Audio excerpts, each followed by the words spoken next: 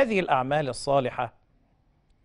إحياء ما بين الفجر وطلوع الشمس وهو ما يسمى بوقت الغداة يقول سيد الأولين والآخرين صلى الله عليه وسلم من صلى الفجر في جماعة ثم جلس يذكر الله في مصلاه وحينما يقول النبي صلى الله عليه وسلم في مصلاه أي المكان الذي صلى فيه حتى لو صلى جماعة مع أهل بيته فنحن نعلم أن الظروف العصرية لا تتيح للمصلي أن يجلس في المسجد فترة طويلة بعد الصلاة لأن المساجد تغلق عقب الصلوات.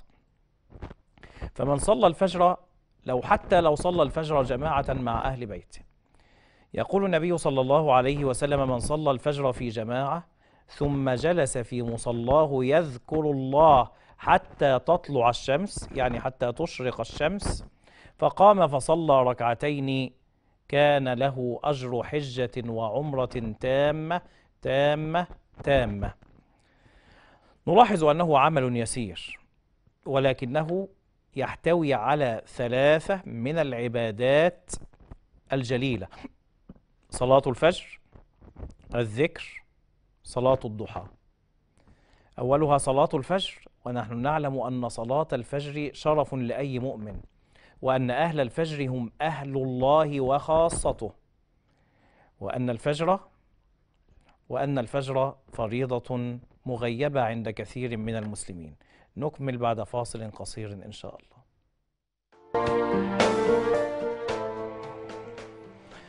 عدنا إلى حضراتكم مرة أخرى أيها المشاهدون الكرام لنعلم أن القرآن الذي يقرأ في صلاة الفجر تشهده الملائكة مصداقا لقول الحق جل جلاله في القرآن المجيد أقم الصلاة لدلوك الشمس إلى غسق الليل وقرآن الفجر إن قرآن الفجر كان مشهودا.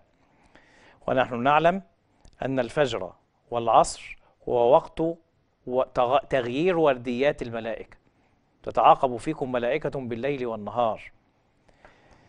حينما يصعدون إلى الله عز وجل يسألهم كيف تركتم عبادي يقولون تركناهم وهم يصلون. كيف أتيتم عبادي؟ يقولون أتيناهم وهم يصلون.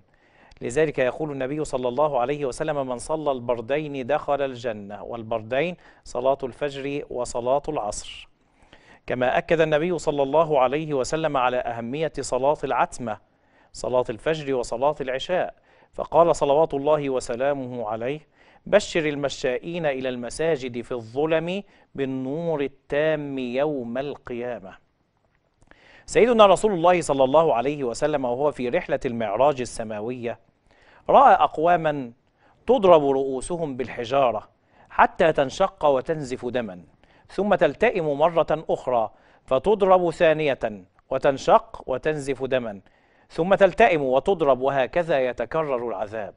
صورة بشعة سأل الحبيب صلى الله عليه وسلم جبريل الأمين عن شأن هؤلاء فأخبره بأن هؤلاء هم الذين كانوا ينامون أو يتكاسلون أو يتثاقلون عن الصلاة المكتوبة.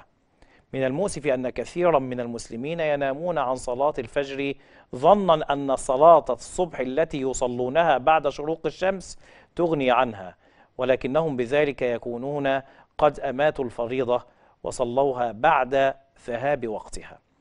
فصلاة الفجر من الأعمال التي تنجي صاحبها بفضل الله تبارك وتعالى. الحديث يشتمل على عملين آخرين. العمل الثاني هو ذكر الله. ونحن نعلم أن رسول الله صلى الله عليه وسلم كان يجلس مع أصحابه ذات يوم. فقال لهم ألا أنبئكم بخير أعمالكم؟ وأزكاها عند مليككم؟ وأرفعها في درجاتكم؟ وخير لكم من إنفاق الذهب والورق يعني الإكثار من الصدقات. وخير لكم من أن تلقوا عدوكم فتضربوا أعناقهم ويضربوا أعناقكم. إشارة إلى الجهاد في سبيل الله. قالوا بلى يا رسول الله. قال ذكر الله تعالى. وقال صلى الله عليه وسلم الدنيا ملعونة ملعون ما فيها إلا ذكر الله تعالى وما والاه وعالما أو متعلما. لذلك ينبغي أن نحرص على الذكر لأنه من الأعمال التي تحيي قلب صاحبها. العمل الثالث الذي يظهر في الحديث الشريف الذي ذكرناه وصلاة الضحى وهذه تسمى صلاة الأوابين.